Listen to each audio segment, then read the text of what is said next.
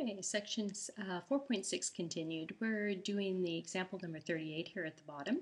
If it is 27 degrees Celsius to the nearest degree, what is the temperature in Fahrenheit? So I've already placed in here the degrees Celsius, and I've given us our formula for degrees Fahrenheit um, for converting Celsius to Fahrenheit. That is 9 fifths the Celsius degrees plus 32. So all I have to do in order to solve for the degrees Fahrenheit is substitution. So this says 9 fifths times whatever my Celsius degrees are, and my Celsius degrees are 27 in this instance, and then I'm going to add 32 to that.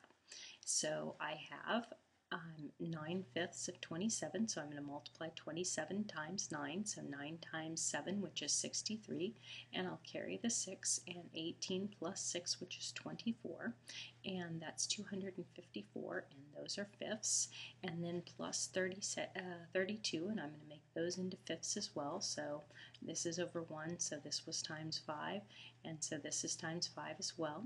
5 times 2 is 10, carry the 1, and 15 plus 1, which is 16.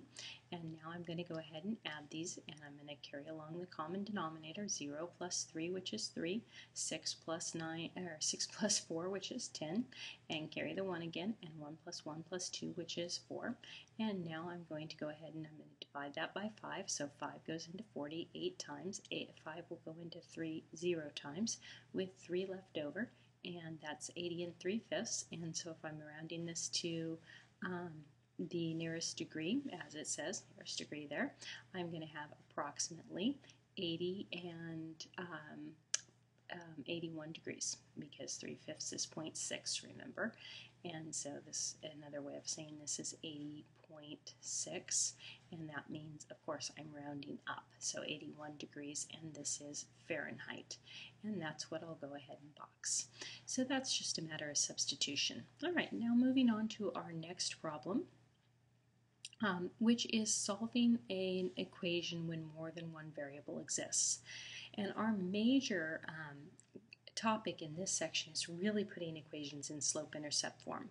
But what we want to do is we want to focus on the variable that we're solving for. And then we're going to use our skills of solving a linear equation um, for um, the variable that we used before. What is added to that variable of focus, and we're going to undo that with addition, what's multiplied by it, and undo that with, by a multiplication property. So let's take a look at our first example here. T is equal to m n r.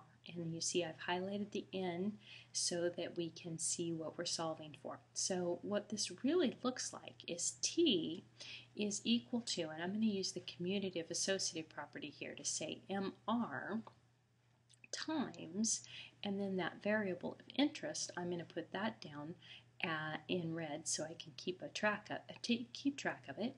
And that I see is going to say this number whatever it is times that n. So I want to get rid of that number. Well it's multiplied by it so I'm going to multiply by its reciprocal mr and I'm going to multiply by its reciprocal over here as well using the multiplication property which is going to show me that my n that I was after is equal to t divided by this m times r.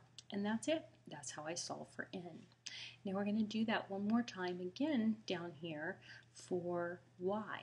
Now this time I want to solve for y. See it's highlighted. So this 3x is being added to this y. So I want to undo that. I want to add 3x's opposite to both sides. So I'm going to add it to both sides here and here. And now I'm going to see that my y is equal to negative 3x and then plus 7.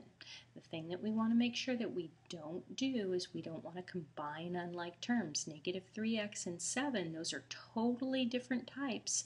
We don't know what this number negative 3x is.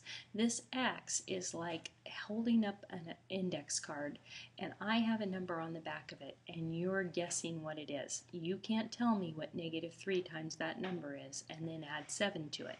So don't confuse that. Don't try to add negative 3x and positive 7. You want to just leave it just as it is. That's a perfectly acceptable answer. y is equal to negative 3x plus 7. All right, we'll continue this solving in the next uh, lecture set. We have parts C and D to continue on, and then we have example number 40 as well.